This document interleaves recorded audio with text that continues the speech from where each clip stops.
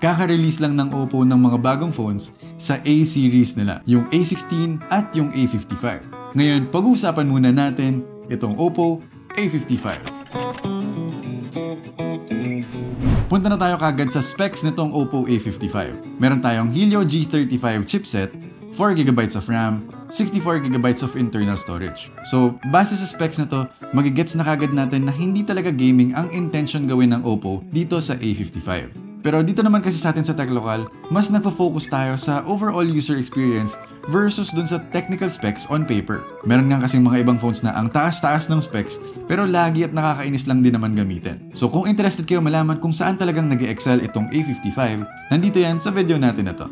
But before we proceed, gusto ko munang magpasalamat sa Oppo for sending us the A55 for review. Tsaka gusto ko rin magpasalamat sa inyong lahat for helping us reach our first 1,000 subscribers. Oh guys, finally, after 6 months on YouTube, naka 1,000 subscribers na tayo. At hindi natin ma-achieve yan kung hindi dahil sa inyo. Kaya, thank you. At para naman sa mga hindi pa nakasubscribe, hindi pa huli ang lahat, mag-subscribe na kayo para naman lumaki pa tong community natin ng mga techies. 8.4mm lang ang kapal nitong A55. Na dito pa lang masasabi na natin na medyo may kaibahan na talaga siya sa mga nakasanayan nating ibang entry-level phones. Nakadalasan mas makakapal na at mabibigat dahil tinatry nilang mag-accommodate ng mga malalaking batteries. Simple pero classy lang din ang dating nitong kanyang back case. We really can't go wrong sa build quality ng phones ng Oppo. And dito sa A55, hindi naman tayo na-disappoint. Hindi parang laruan yung feel niya kahit pa plastic yung body niya. Dagdag pagka-class rin, yung side-mounted fingerprint scanner na hindi natin masyadong nakikita sa mga entry-level devices. Plus pa, yung layout ng back camera na may similarity sa Reno 6 series.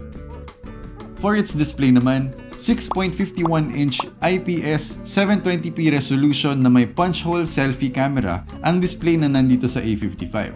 Siguro pwede tayong ma-disappoint na 720p pa rin ang resolution na nakalagay dito, pero 720p man, magandang 720p naman ang nailagay nila dito. For comparison, itatabi natin siya sa 720p display nitong Realme C25. Ito kasing C25 ang isa na ata sa pinakamagandang 720p na nasubukan ko. I think kung hindi rin ako nagkakamali, kapareho nito yung display ng nasa Narzo 38. At side by side sa C25, masasabi nating maganda rin talaga ang display nitong A55.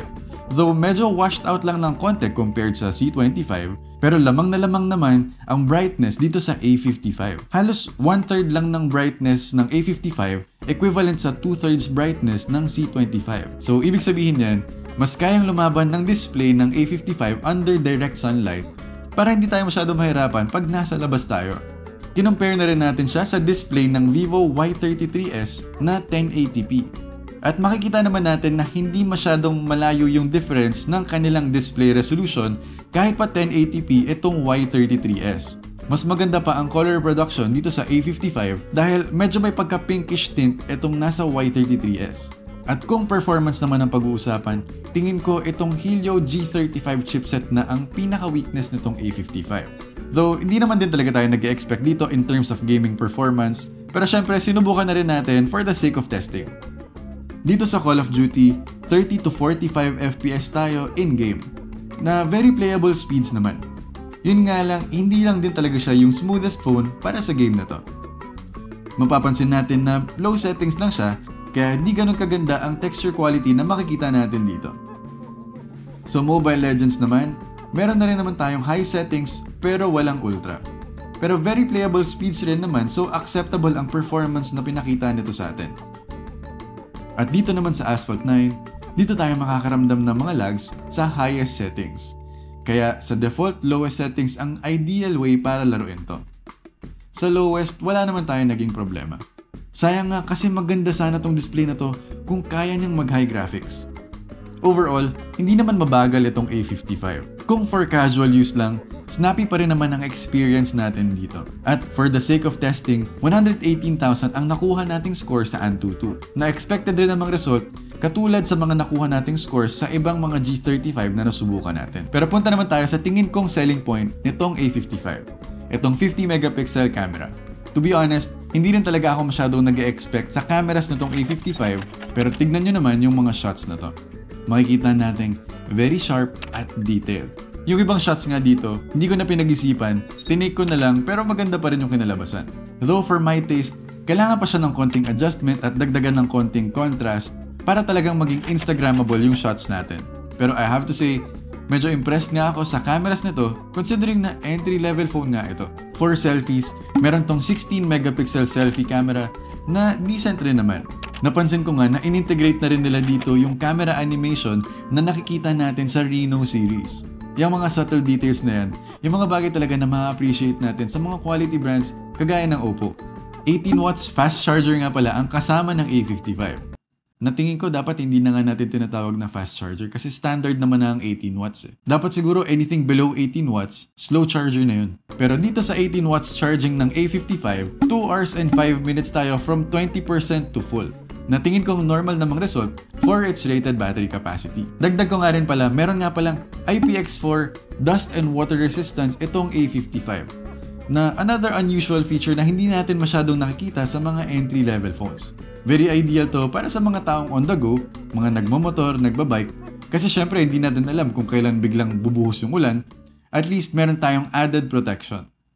So, para kanino nga ba tong A55? Kung akong tatanungin, yung bright display, 50 megapixel camera, long battery life, at yung IPX4 water and dust resistance ang pinaka-edge ng A55 laban sa kanyang competition. At tingin ko, perfect na perfect talaga to para sa mga taong laging nasa labas.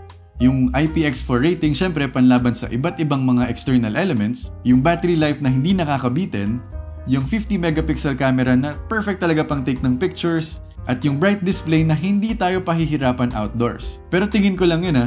Kayo ba, anong tingin ninyo? Para kanino nga ba nababagay talaga itong A55? Pakicomment nyo na lang sa comment section natin.